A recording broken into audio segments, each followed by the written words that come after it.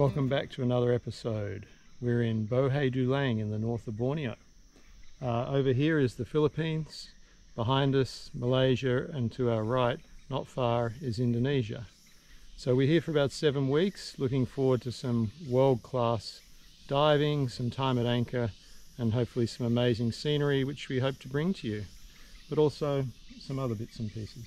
Yeah, we're going to continue walk through the boat and show you some more of the layout that we have on board. Um, it's been uh, really been put to good use. We've had visitors and more visitors coming to use the boat together with us. So let's get on with it. Okay, let's do it.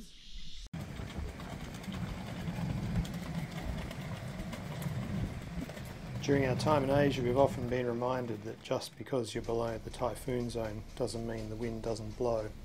We've had 65 knots and here a consistent 43 for the day in the marina.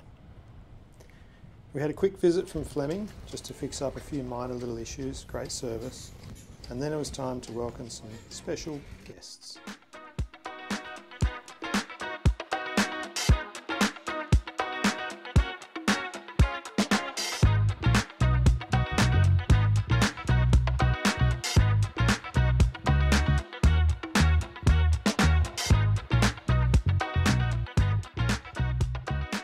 Wow, and so finally the day arrived when we had our first visitors on board Freja. After about four and a half months away, our daughter, her boyfriend Jai, and their friends from Australia came to spend two eventful weeks with us. They flew into Kota Kinabalu, but all they wanted to do was to head straight out and stay at anchor for almost the entire two weeks. We had a great time diving, snorkeling, and just exploring the beautiful surroundings, playing games, having good food, few drinks, and put it all on repeat again for the next day.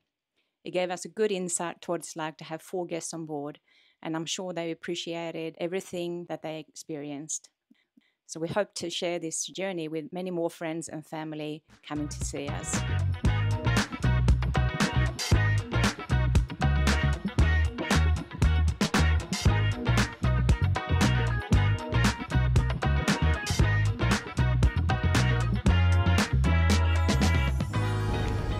Welcome, this is Lani from Cruising Freja News Channel.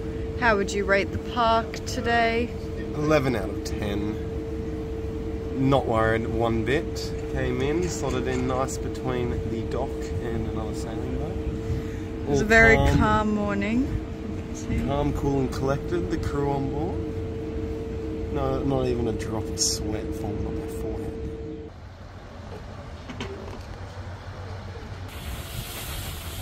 And then it was time to bunker some fuel. The first time we had to bunker fuel since we left Taiwan. we have done about 2,000 nautical miles, at least two months at anchor out of that. We still had 2,000 litres on the boat, so we managed to fit a full 10,000 litres on in our tanks. Everything went smoothly and it set us up for our trip around the tip of Borneo. One last stop at the markets the following morning, and then time to go.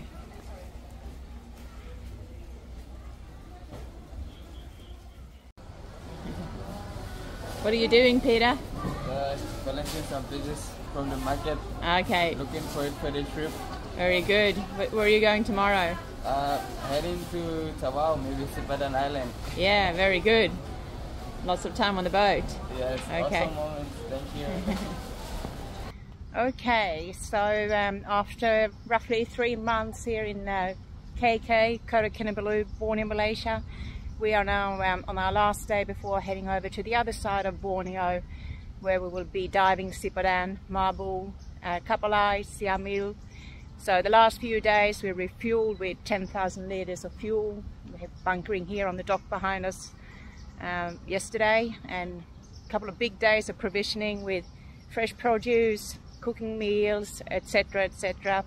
So um, yeah, we're excited, ready to keep going and uh, we are very grateful for all the beautiful people we met here in um, Kota Kinabalu. We made some fabulous friends and uh, we'll return here uh, after we've spent um, a couple of months over on the other side. So um, I'm off for one last trip to the shops to get some more batteries, um, maybe some more eggs. Fridge, fridge and freezers are full. So we are ready, very excited, times ahead. All right, ciao.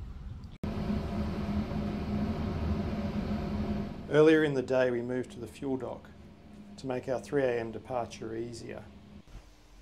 We left the lights of Kota Kinabalu in our wake while we enjoyed the lightning show out to sea. Soon the sun was rising over Mount Kinabalu. All we had to do was to settle into the routine of getting this 350 or so nautical mile trip done easily and safely.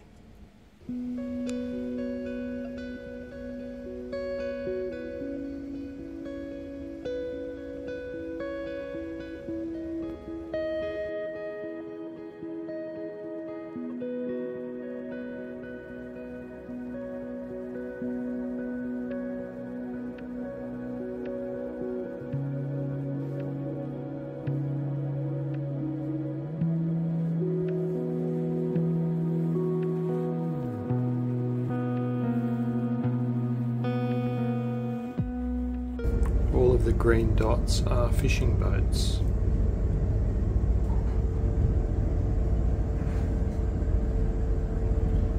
Malaysian fishing boats, and then over to our port side, I believe they're all Filipino fishing boats.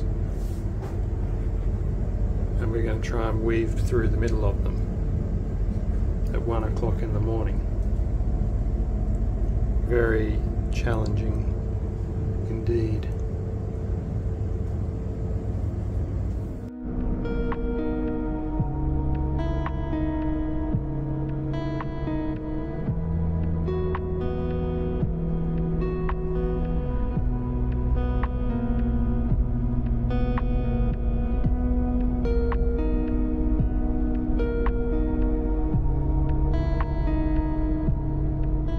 This headland here, where Malaysia meets the Islamic area of the Philippines, has been an area of numerous security incidents and kidnappings and deaths.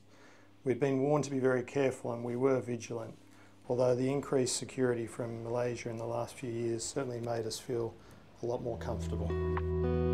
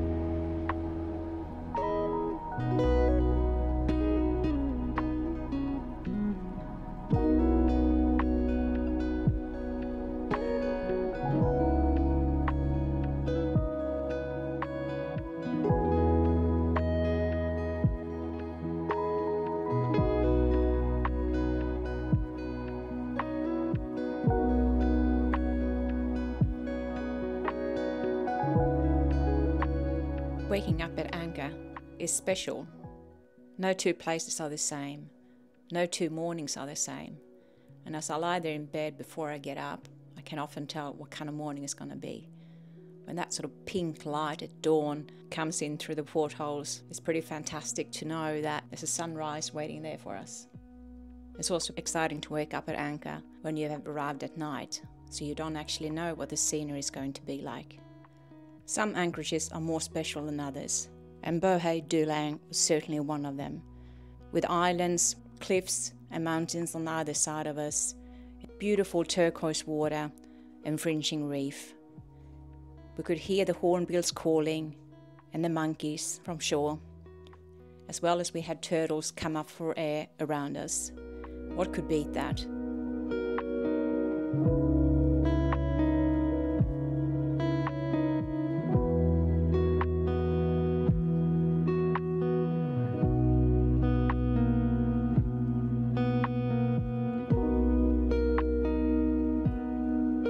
Our tender is a vital piece of equipment on the boat, a bit like a family car.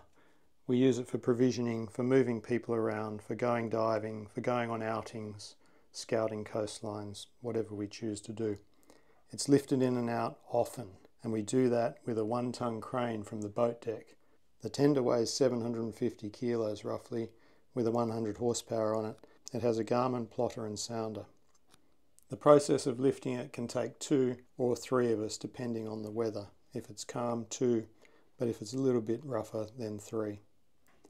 In an emergency situation, we could always tow it if we weren't able to lift it back onto the boat.